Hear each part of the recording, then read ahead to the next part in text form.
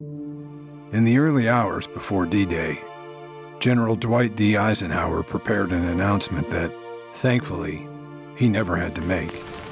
Our landings in the Normandy area have failed to gain a foothold, and I have withdrawn the troops.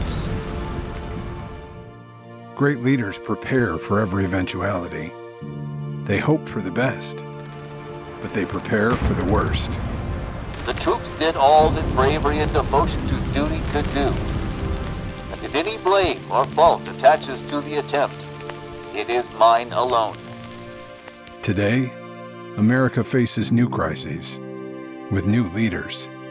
You did disband the White House Pandemic Office. Yeah, I didn't do it. Uh, we have a group of people. Yeah, no, I don't take responsibility at all because we were. Isn't it time America returned to a different kind of leadership? The Lincoln Project is responsible for the content of this advertising.